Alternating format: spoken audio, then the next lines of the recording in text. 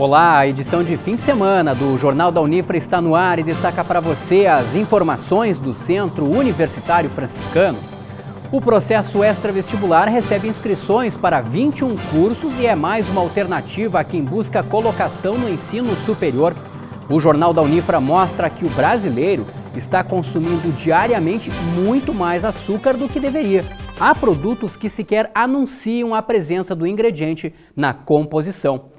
Consulta popular discute a proibição de um objeto utilizado por gerações de famílias. O Jornal da Unifra destaca também a estreia do Santa Maria Soldiers, tricampeão gaúcho, na Liga Nacional de Futebol Americano.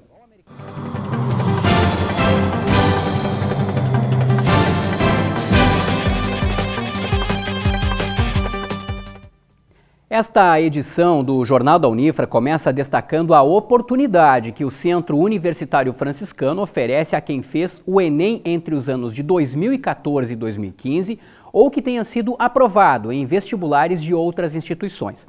Até o dia 20 de julho, estudantes nestas condições que acabamos de citar podem concorrer no processo extra-vestibular.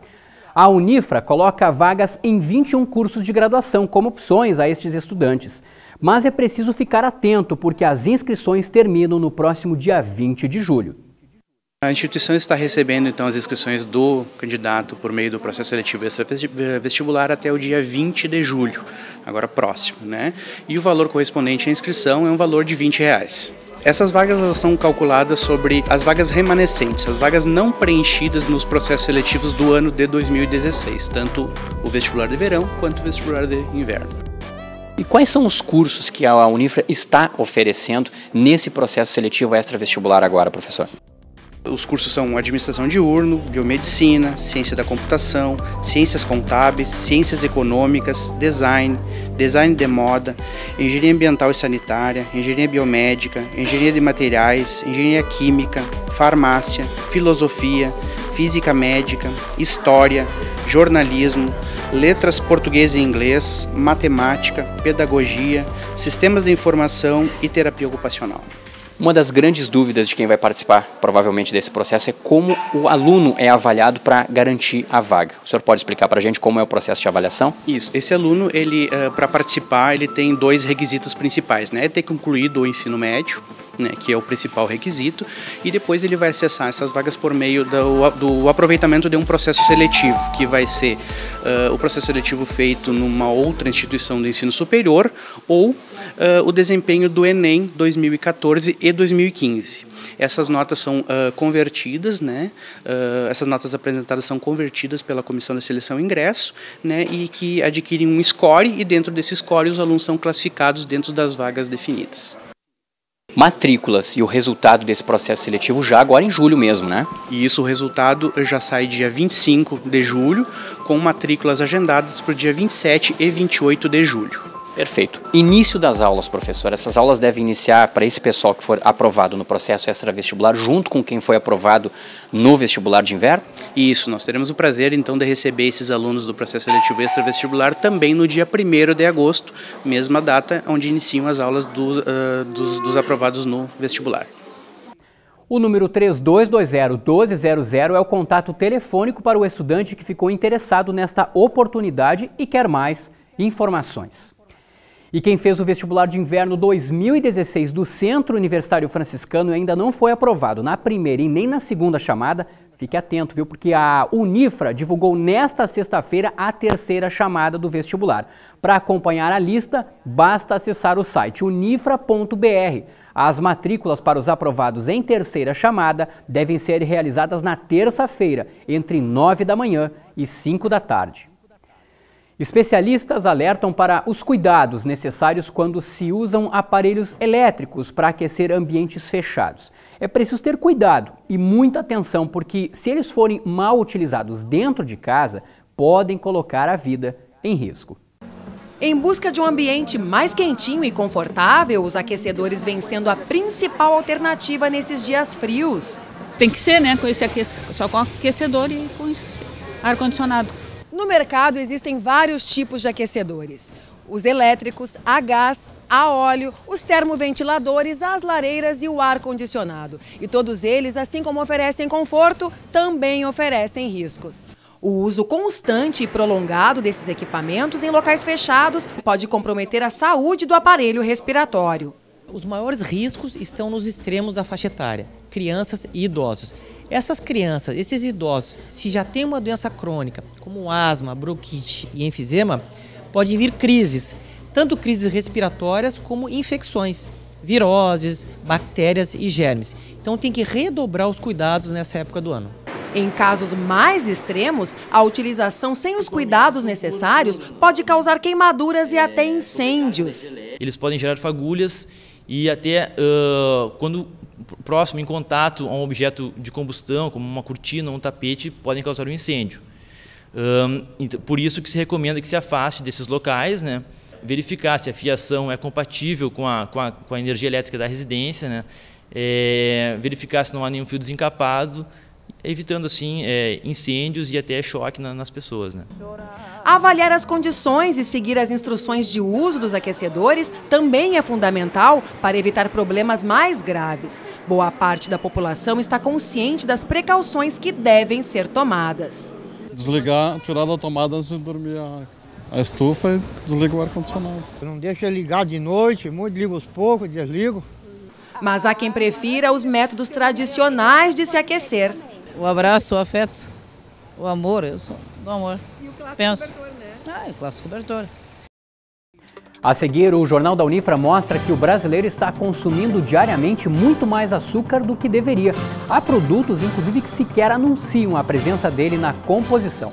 Intervalo e já voltamos.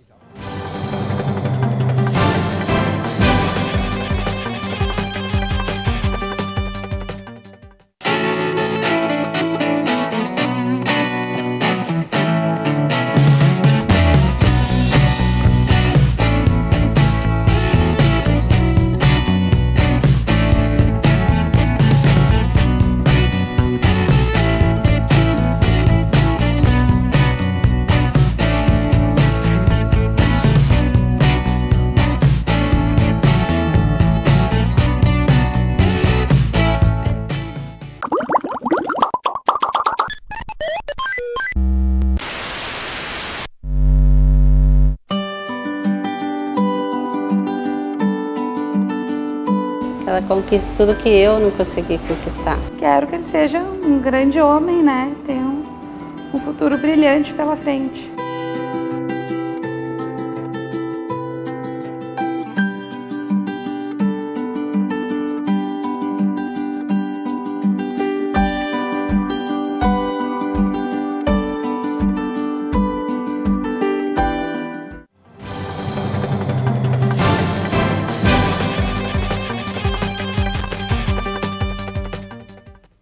O Centro Universitário Franciscano oferece vagas para sete cursos de especialização em três áreas distintas. Como fazer a inscrição e quais são os cursos o candidato encontra no site unifra.br.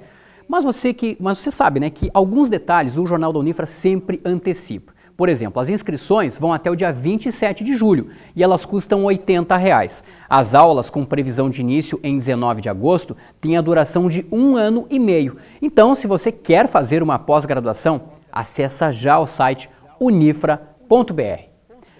As principais fabricantes nacionais anunciaram que a partir de agosto vão deixar de vender refrigerantes para cantinas escolares. A medida atende a uma lei aprovada na Câmara dos Deputados para reduzir o consumo de açúcar pelos alunos do ensino básico. Por dia, o ideal é consumir 50 gramas de açúcar, o que dá aproximadamente entre 3 colheres de sopa, mais ou menos.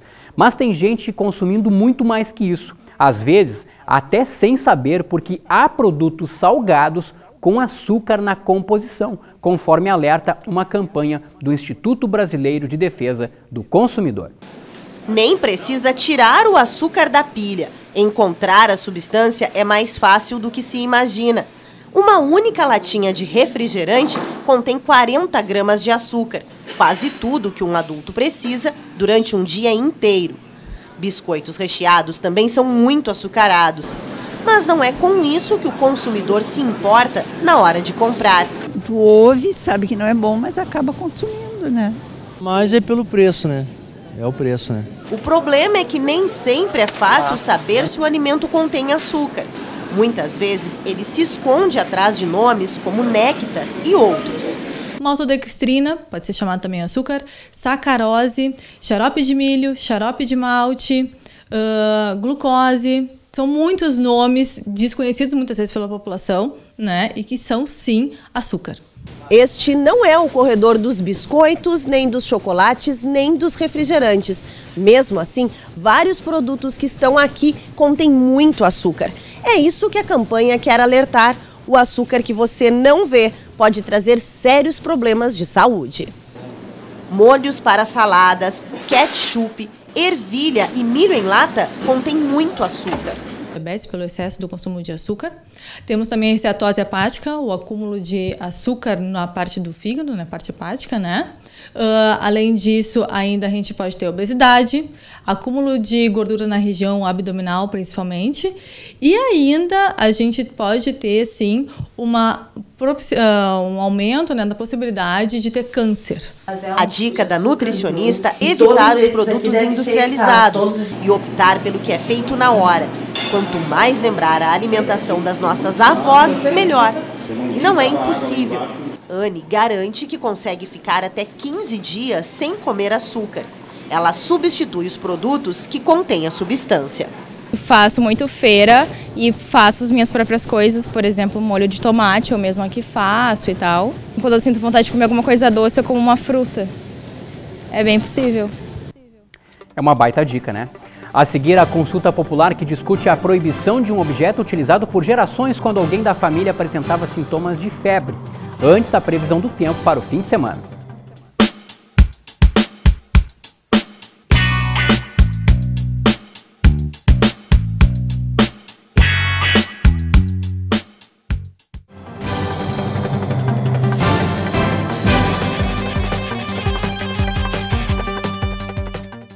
Por meio da educação, milhares de jovens colaboradores e pesquisadores compartilham suas experiências em um ambiente vivo, amparado na liberdade de pensar e criar.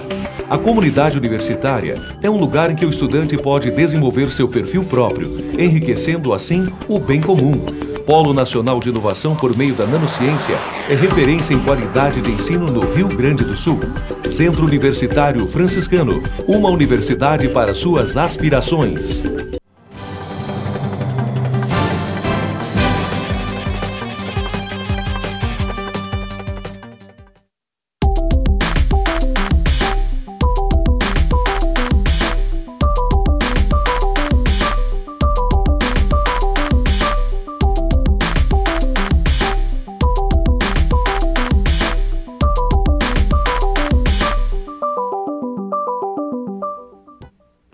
Objeto utilizado por gerações de famílias, o velho termômetro de mercúrio pode estar com os dias contados aqui no Brasil, hein? Há mais de um mês, a Agência Nacional de Vigilância Sanitária abriu uma consulta pública para discutir a proposta de proibição do produto. O prazo para o envio de comentários e de sugestões é até o dia 27 de agosto. A Jaqueline é a mais nova dos três filhos da Daiane. Com um trio em casa, termômetro é artigo de primeira necessidade. Febre não avisa, né? Pega de repente. E esse termômetro é digital ou ainda é daqueles de mercúrio? É digital. Mas tem quem confie mais nos velhos termômetros de mercúrio. Eu confio nos antigos. Eu acho mais garantido, né? Que é uma coisa que está te aparecendo normal ali, né? E o outro não sabe se vai funcionar direitinho ou não, né? Nesta farmácia, o termômetro analógico de mercúrio custa a metade do digital. E a mesma proporção vale para a venda. Mas não é só por causa do preço. É uma questão que veio de, de avô para pai, de pai para filho e que a gente continua implementando ainda. A questão é cultural e foi difícil de ser aceita até mesmo na academia. Nos laboratórios de Físico-Química da Universidade Federal do Rio Grande do Sul, hoje a maior parte dos imensos termômetros de mercúrio é peça de museu. Mas houve resistência na troca para os digitais, mesmo sendo comprovada a equivalência quando o termômetro digital é de qualidade. Se já tava, estava acostumado a trabalhar com o termômetro de mercúrio, ao passar por um sistema analógico digital, com até possibilidade de levar a, a medida de temperatura dos dados para o computador e utilizar numa planilha, de outra forma era pegar a olhar para a coluna de mercúrio, anotar, ver a temperatura, tudo isso aí era, um jogo que o aluno fazia, o professor estava acostumado a fazer aquilo, então ele queria fazer daquela forma. Aí muda, vai direto para o computador, tem que saber qual é que é o programa, o computador tranca. Não, isso aí não funciona bem, eu não quero. A consulta pública da Anvisa para retirar os termômetros de mercúrio do mercado faz parte de um compromisso assinado por 140 países, incluindo o Brasil, de banir produtos com este material químico até 2020. A contaminação por mercúrio tem efeito cumulativo, tanto para as pessoas como para o meio ambiente. O risco, no caso dos termômetros, é a quebra do equipamento e a dispersão deste metal pesado em estado líquido. Uma vez quebrou, Aí uma vez quebrou, mesmo que seja uma gotinha, duas gotinhas, uma grama, uma grama seria muito, né? mas 100 miligramas ou 50 miligramas de mercúrio, aquele mercúrio vai ficar por um bom período da vida da pessoa contaminando o ambiente. Ele vai ficar ali num cantinho e ele vai ficar sempre emitindo aquele vapor de mercúrio. A pessoa ali passa 5, 10 anos tendo um contato desnecessário com uma substância uh, relativamente tóxica. Né?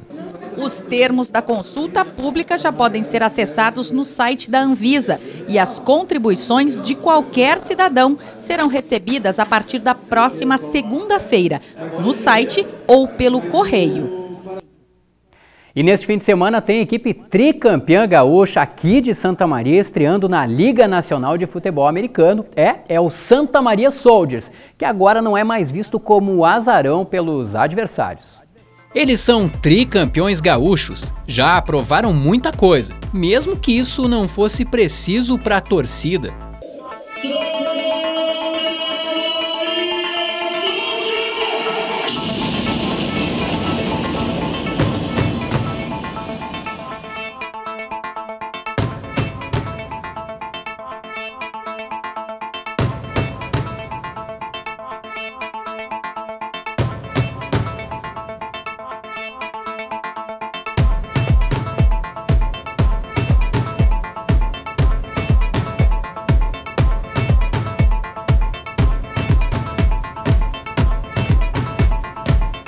E justamente por isso a gente fica tão feliz, né? Esse sentimento de que todo trabalho valeu a pena, né? De recompensador.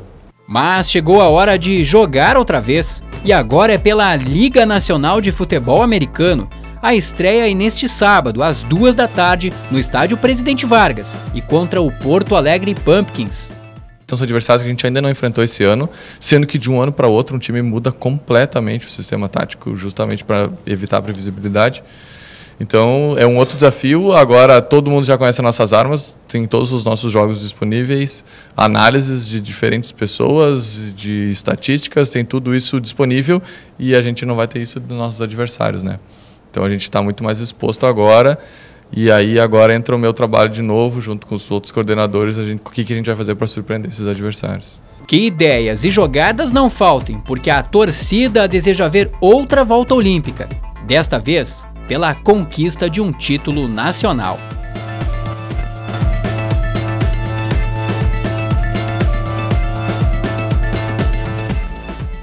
Boa sorte aos Soldiers. O Jornal da Unifra vai ficando por aqui. Você também pode conferir a nossa programação no nosso canal do YouTube, o Unifra Online. Um grande abraço a todos, um bom fim de semana também e até mais.